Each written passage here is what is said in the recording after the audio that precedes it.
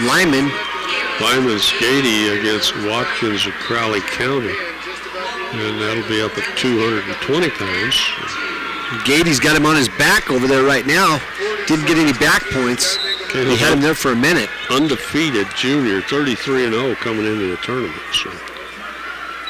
Minute 38 left in that match, or in the first period in that match.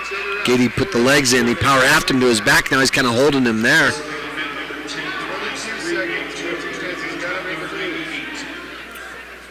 Book still ahead two to one over there, and time just ran out at the end of the first period.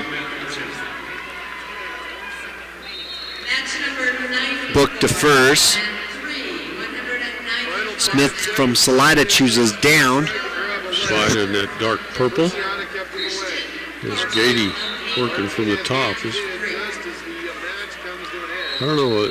I haven't seen. I've seen a lot of this, just popping people around. Oh, he just throws his opponent over the top of him, got him on, the on his back, and works him into a bear hug. It looks like.